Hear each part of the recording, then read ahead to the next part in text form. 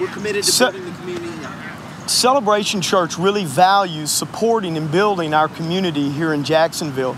You know, we want to be the kind of church that uh, that serves our community. That, uh, of course, we believe the most important service we can provide for our community is uh, serving the gospel of Jesus Christ. However, we also want to serve our community in a variety of ways and, and getting involved in community projects, in uh, ministering to community needs, and also uh, participating in community events that'll help make Jacksonville a better place to live.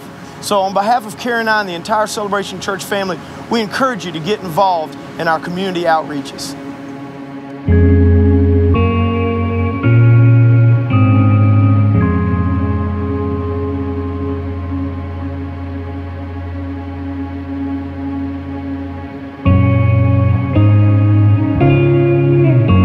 I grew up in South Louisiana, and uh, most of that time I was living in Baton Rouge, Louisiana. And uh, of course, like nearly everyone in South Louisiana, I went to school at LSU and uh, made a couple of really good decisions when I went to LSU. The first really good decision was I chose to join the wildest fraternity on campus, and my second really good decision was I chose to work at the wildest bar on campus, and uh, and those were some crazy days, and uh, just got into a lot of a lot of partying and the drug scene and a lot of those things that uh, that kids do in college that have lost their way. But thank God, um, I had people that were praying for me, and and kind of my simple story of of receiving Jesus was, uh, you know, I, I had seeds sown in me by different people. Uh, I'd been to a couple of youth retreats when I was young.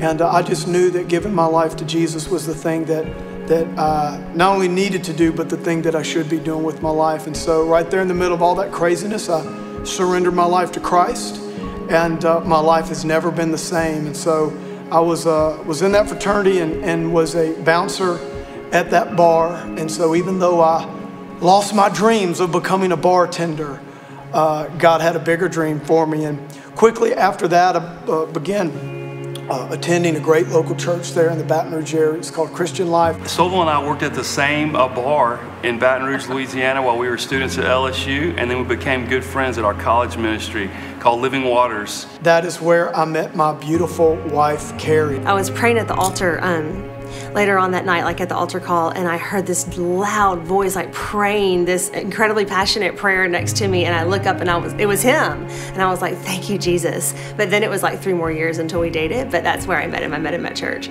Free Speech Alley is just a, um, a little area in the in LSU that they call it the Quad area, and so it's a little uh, area right there where people would debate politics. And Pastor Stovall used to go and uh, preach on a bench, and so he wasn't the only one. I mean, there was lots of people who went and preached and debated there, and so all the students would gather around, and and so that's where he got his start was preaching right on the bench there. I actually began to lead that college and career ministry, and then we did a lot of mission work. Pastor Stovall uh, was crazy.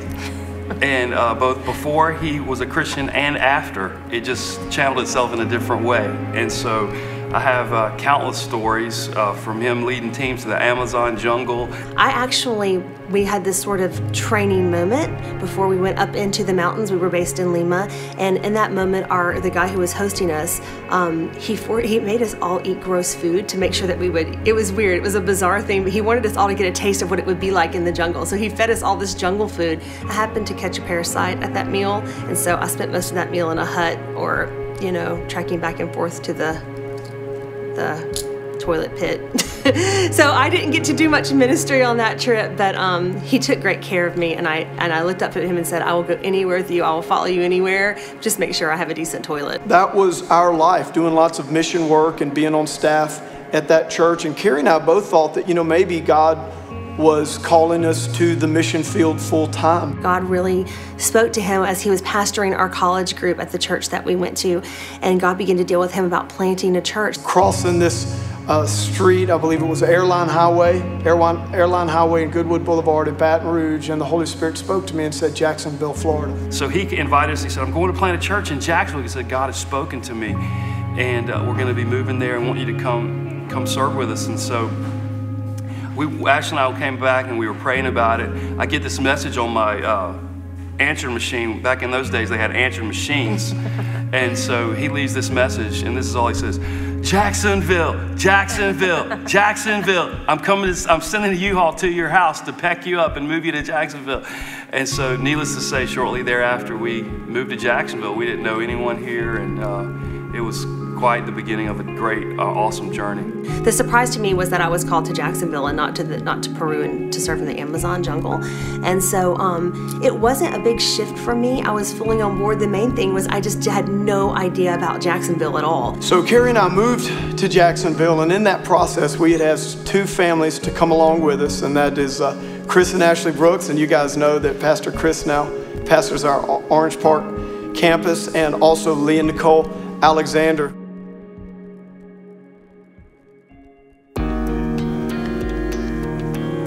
This miracle was I was praying and I just really felt like God showed me that area. I was looking at a map of the city and He showed me the area right there, the corner of Bay Meadows Road and Southside Boulevard. And I just felt impressed to go uh, to that location. And so I drove there the next day, but I didn't see anything. I saw like one storefront, I think like Panera Bread is there now or something. And in my mind back then, I don't even know how much it was, but it's, you know, it was like a zillion dollars in my mind. We could never afford it, and the parking wouldn't work anyway. And so I drove back later, and I was just like, I wonder what that was, because I really thought God had impressed that area to me. And, and so, but there was nothing. And so the next day, I drove back there again, and I was driving by, and this time when I crossed Southside Boulevard on Bay Meadows, I looked to my left, and I noticed if you go just a little bit down, not right at the corner, but down a little bit, there was a little road that went back there, and I saw this little sign, and it said Jacksonville Country Day School. And so right then I knew, okay, this has to be it. This is God. And what I did was right then, we pulled into the driveway. We went and met, uh, it, it just, they just happened to be there, the, the principal and his wife, the Moros at that time, and we just walked right in, introduced ourselves. They didn't know us from Adam, and we just basically said, hey, um, we're planning a church here.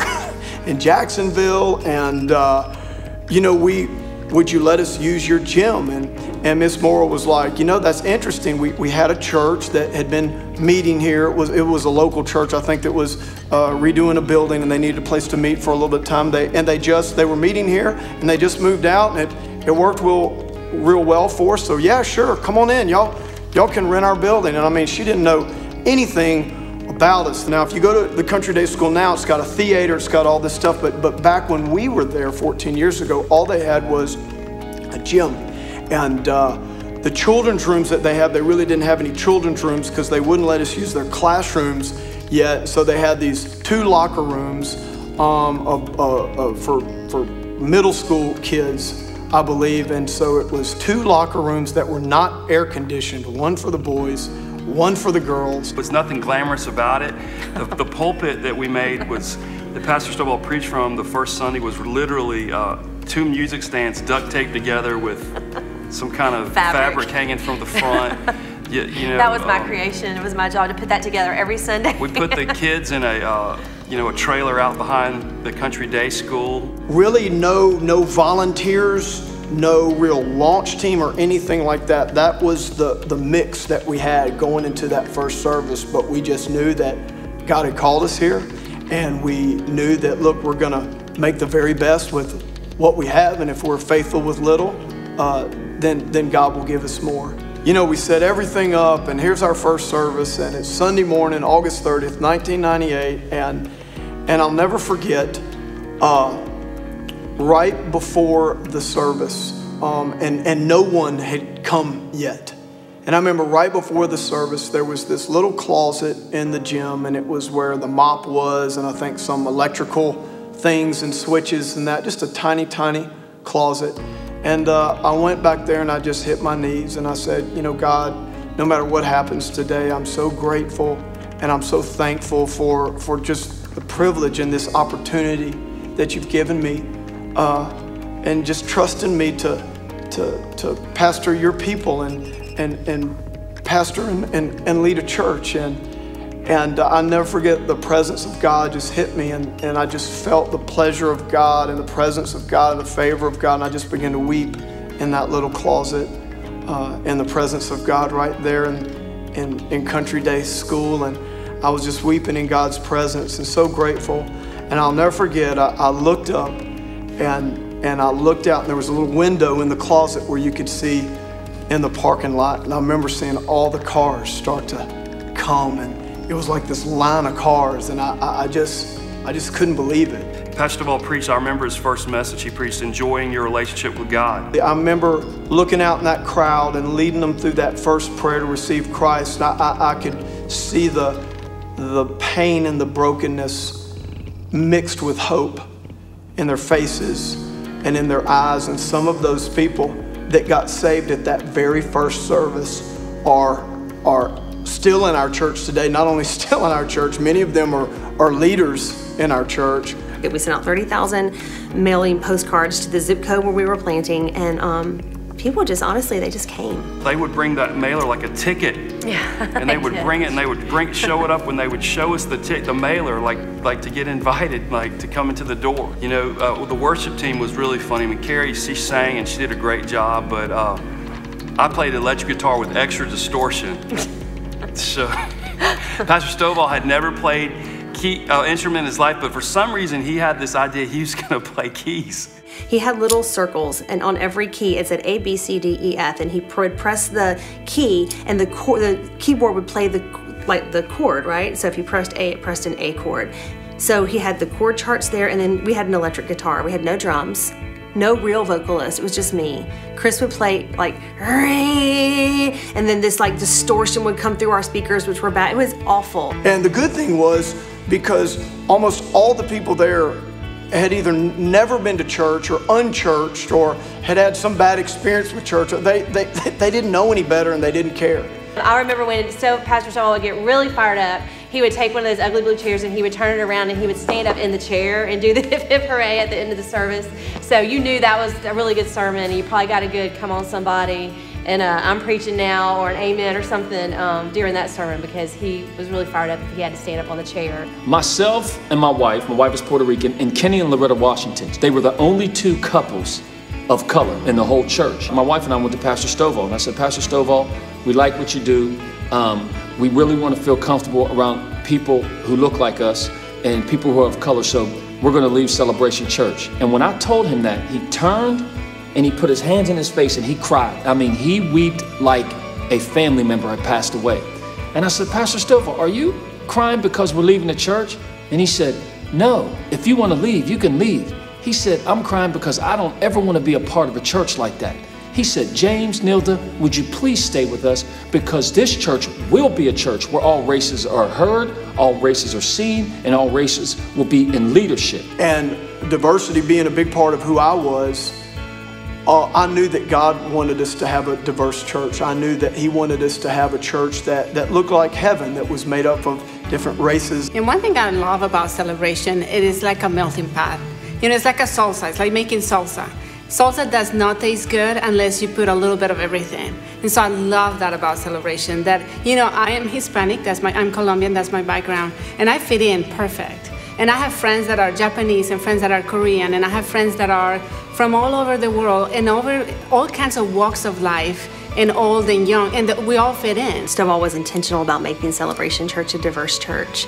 And um, so that was always our heartbeat. Cookout, the second service, she came up to me and, um, and said, You know, I um, am an atheist and I came last Sunday and someone talked me into coming. I wasn't I didn't even want to come because I didn't own a dress and I felt like I wasn't going to look nice enough if I looked at my closet and this person was begging me about going to this new church but I didn't have anything to wear. And then she was back. This was the second Sunday and she just got tears in her eyes and she said, "But I know that this is a place that I don't have to look a certain way and I don't have to have a pretty dress to come to this church, but I'm going to be loved." And um, and she found Christ and she accepted Christ and uh, that second Sunday, I, I got to be part of coming alongside this other stranger that I only knew one week, and um, and we led that person to Christ. And um, because of Celebration Church and because of the call on Pastor Stovall's life, she's now in the kingdom of God. Really transforming the gymnasium of a high school into a, a true a spot, place to worship the Lord. It was kind of a neat thing to do and to see how they'd use the obstacles as opportunities, like hanging ferns from the basketball hoops. It was just, it was funny, but it was, it was a good kind of funny. It just about doubled every year. So after uh, three years, you know, we were running probably 800 people or more, and then UNF had just built this $22 million fine arts theater. And, uh, and I, we went to look at it, and, and I was just thinking, there's no way we're going to be able to rent this. It'll be too much money. It'll be hard to, to set up. And so we went over there and we met with them, and uh, we prayed that scripture in James that says, Every good and perfect gift comes down from above. UNF was the first time I ever experienced the breadth and the size and the magnitude of what God had done, and it was stunning. I couldn't believe it. I just started crying in the parking garage. There were signs when you drove up to the church saying, We are so glad you are here. It was very different for me growing up in a Roman Catholic background. And uh, I remember first thing I saw when I was walking into the building was I noticed this guy in front of me walking and he had these toe socks and they were like blue and orange, like gator colors. and I said, whoa, we come into church like that? And I thought, well, this is gonna be an experience. So we moved in there and we were probably had a thousand people our first service and we quickly grew another thousand people when we moved in UNF and the setup was really uh, difficult. Get to church early and uh, start setting up from probably like six o'clock in the morning or something like that. And uh, go through services, get done with services, and uh, probably four o'clock in the afternoon we'd be done with breakdown. So it'd be a good three hours of breaking down the entire church and stuff like that. When we moved in to our warehouse at Deerwood, which we are now in, um, I just remember the excitement that the staff, the team, really all the church had because for the first time in like six years, we were finally going to be non mobile. Started really being able to go deep with the God first life and what that really means. Um, things like serving and, and, and how we set atmosphere in a church and, and, and relative and transformational environments and, and that attitude of acceptance that we've, we've always had. I remember the day that Stovall came home and he said, I found our home. Like I found our church home. This is where we're gonna build. And and I said, Yeah, show me where it is. So he drove me by it and I was like, That's great. I mean, I just didn't understand. I didn't really I just like a big piece of empty ground to me. it was like, and so um, later on, I found out that it, that you know the town center was originally slated to go there, and I just felt like the Holy Spirit challenged me, and He gave me that scripture that says, "Every perfect gift is from the Heavenly Father above. And I felt like the Holy Spirit was saying, Stovall, if that's where you think would be the perfect gift, then you need to believe me for that gift. And right there, I was driving by the land and I was just like, Father, in the name of Jesus, I claim this piece of land for the kingdom of God in Jesus' name for Celebration Church. And I just uh, uh, prayed that and I believed it. The deal fell through at a meeting that happened right during the time that he was driving by praying for the land. And it was just like God just, I mean, he opened that door, nobody could shut it. Us as a staff and volunteers, we were just serving and focusing on the people and focusing on the experience. I've always said that if you come to Celebration Church and you don't like it, I'll pay for your gas money. I've been saying that for 14 years. I haven't paid one red cent. I always knew that we would be a global church with a global impact, that, that we would be a, a, a local expression of really a, a global church. And that's really what you're beginning to see to take shape here. It's the number one thing that people say about Celebration Church is I'm home.